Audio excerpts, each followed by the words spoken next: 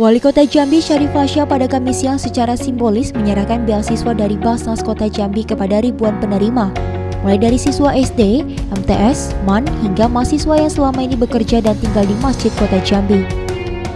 Untuk siswa SD sebanyak 3.000 orang penerima, siswa MTS 2.000 orang, siswa MAN 100 orang, dan mahasiswa khusus Mudim sebanyak 30 orang. Ketua Basnas Kota Jambi Syamsir Naim mengatakan untuk beasiswa kali ini disalurkan sebanyak 2,3 miliar rupiah, terdiri dari siswa SD per orang mendapatkan 400 ribu rupiah, siswa MTS 500 ribu rupiah, MAN 600 ribu rupiah dan mahasiswa S1 2 juta rupiah, serta dana guru pendamping jumlah 30 juta rupiah. Para penerima beasiswa ini adalah siswa dari kalangan keluarga kurang mampu dan terdampak COVID-19. SD sebanyak 3.000 orang. 3.000 orang, satu orangnya adalah 400 ribu. Seperti dijelaskan. Kemudian yang kedua adalah SMP. SMP sebanyak 2.000 orang. Satu orangnya adalah 500. 500.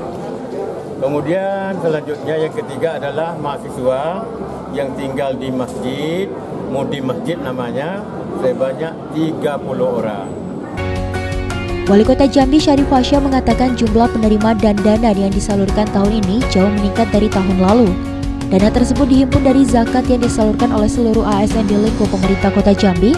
Saat ini Basnas Kota Jambi telah mengumpulkan dana 5,5 miliar rupiah.